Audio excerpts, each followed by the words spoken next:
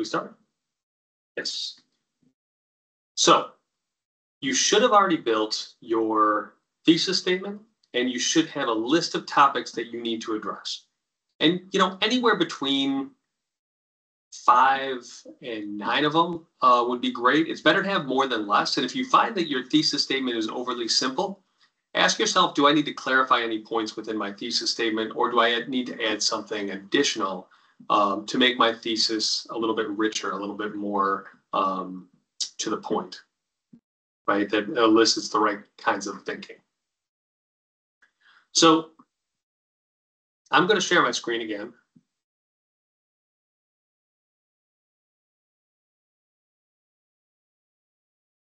And we're picking up right where we left off. And so what we're focused on right now is using these prompts to create topic sentences. And so I'm going to do it right underneath so that everybody can see the growth, right? So everybody can see like the progression of this.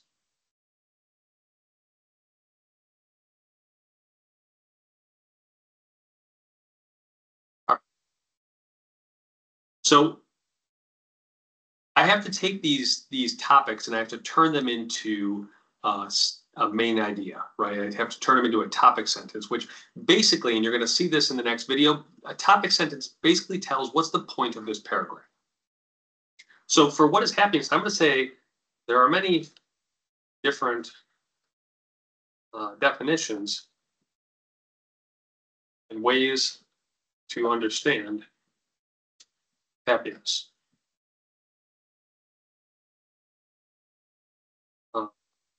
Philosophers and psychologists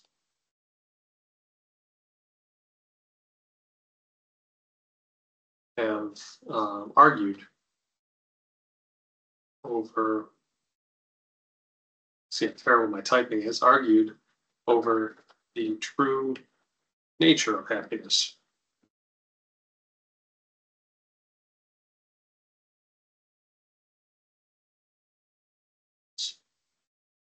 Of years. Um, okay, so I'm just contextualizing. So I'm saying there's many different ways to understand and define happiness um, in order to discuss, and I might cut some of this later, discuss the idea of happiness. We need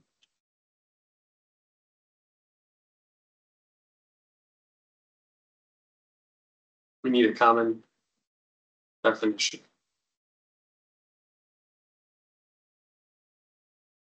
And now I'm going to stop right there. This is my point. This is my topic right? So I'm introducing the topic. I'm not going to give any support right yet. Now, in my head, I'm thinking, and I'm going to put a note here for later. At the beginning of Will Storr's article, there's a great definition of what happiness is from Aristotle. So that might be it. Um, but I, I have to define happiness in this paragraph. And we're going to come back to this, but now I have a topic. Now, I'm going to go into this. I'm going to put this down here. So now Here's this. And I'm going to highlight it just so that I. So here's this. I also think it's important that we talk about individual versus social connections or conventions about happiness, right? So um, for this, I have to make a topic sentence for, so I might say something like, one of the things that makes happiness so challenging is that there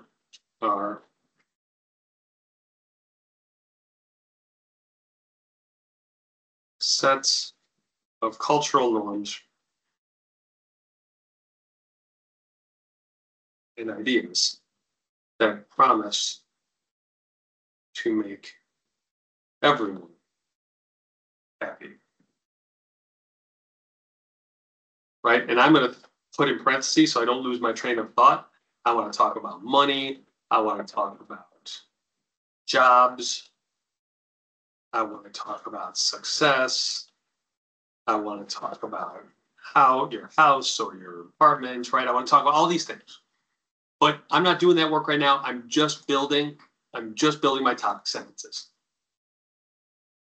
But I don't want to lose my, I don't want to lose my train of thought.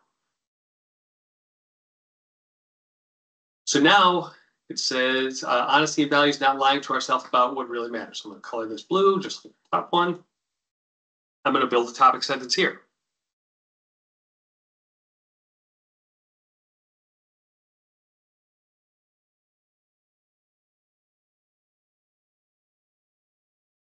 Um,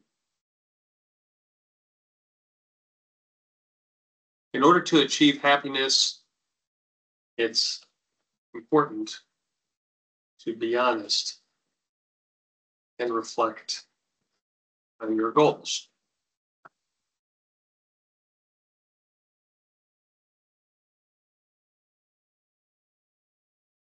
Important to know why uh, we are pursuing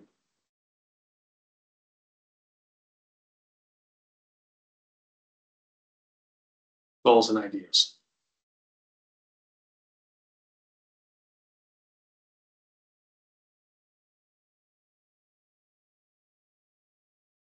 I'm going to put um, identity here. This is where I want to, oops, sorry. This is where I want to talk about identity.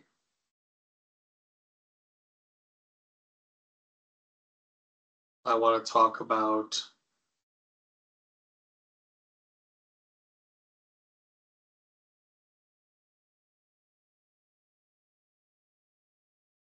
uh, values.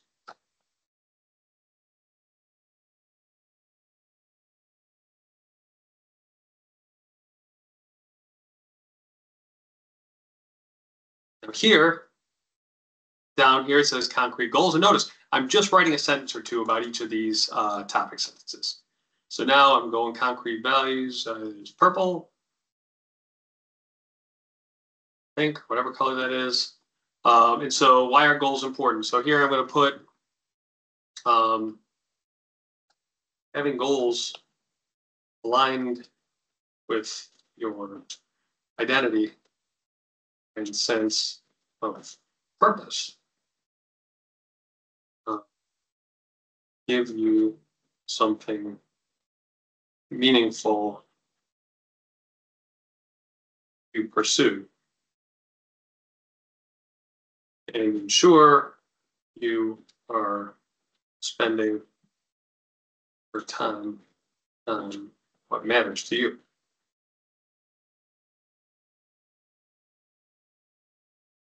And so as we look through, I'm getting a phone call here, but they can wait. Um, as we look through, so why are goals important? Um, you know, have goals aligned.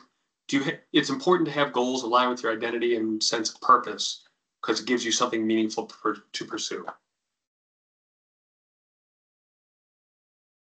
And whenever you're writing a topic sentence, um, feel free to just use like things like it's important or um, just start right out with with what you're saying. You can always go back and edit for content later. But what we're trying to do, as as I mentioned, is we're trying to um,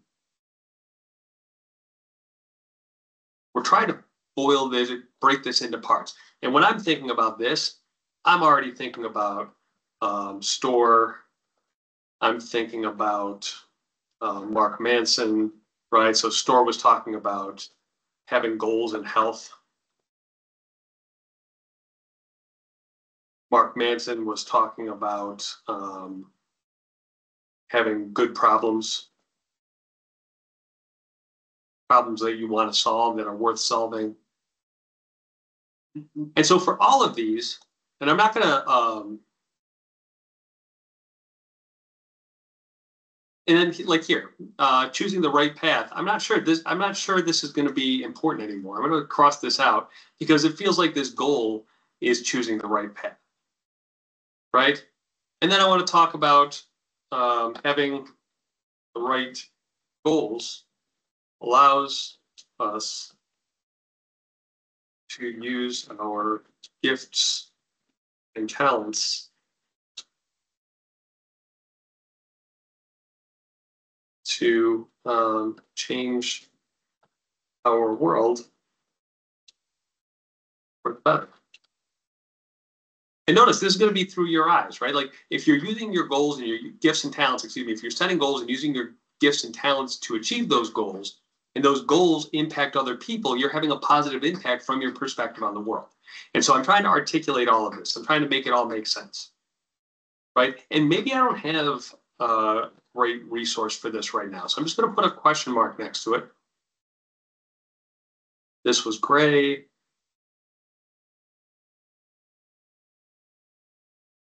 This was that weird brown color, like mustard. I don't know what. That. Okay, so as we look at this, now, without doing much, right, and you saw so it's taken me about 10 minutes on this video, about eight minutes on the last one. Without doing much, what we have is we've lined up all of these different ideas, all of these different topics that we need, and we've given ourselves some things to think about, right? We know where we can go to um, to find these sources. So I'm going to leave you here. And what I want you to do for the remainder of um, this class, I believe, well, for, for the next half hour or so, um, I, I, want you to think about how are you going to create topic sentences that uh, give you a way to lead into the rest of what you're doing. Okay? And if you have questions, as always, feel free to email me. Um, and uh, I hope you find this helpful.